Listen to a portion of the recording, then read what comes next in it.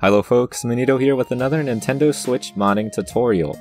I'll be showing you how to install the Sys module known as SysTune, which is a background audio player for the Nintendo Switch.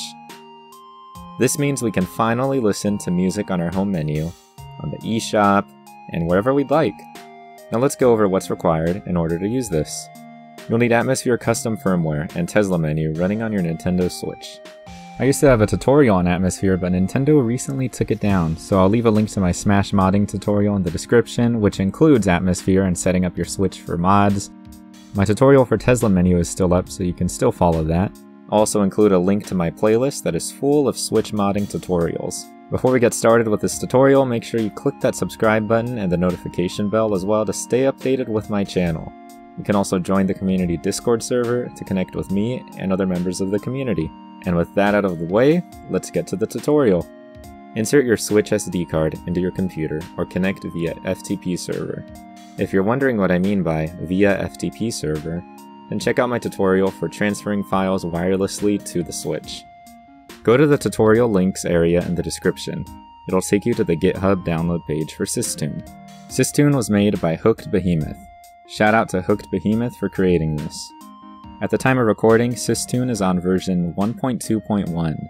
If it's at a higher version when you download it, don't worry as the installation will still be the same. Download systune.zip and open it. Now drag the folders to your Switch SD card. Now make a folder on the root of your SD card called Music. This is where we'll place our music. SysTune supports MP3, FLAC, and WAV audio files. Drag the music of your choice in here, and once you're done, eject your SD card, boot into Atmosphere, and access the Tesla menu by pressing L, D-pad down, and the right stick button. And you'll see SysTune overlay next to Sys modules. Go ahead and press A, and you'll see this little media player, playlist, music browser, volume, and close SysTune. We're going to go to Music Browser, and you'll see the songs that you placed in your music folder. We'll go ahead and start with Ballad of the Goddess.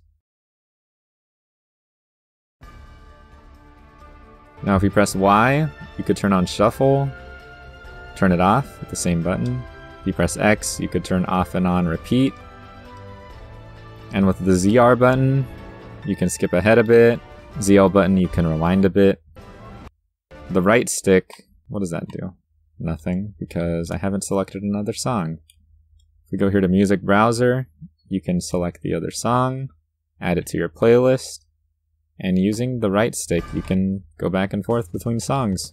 You can adjust the volume, that way we can still hear the Switch UI if you want to. Pretty neat. This even works in-game too.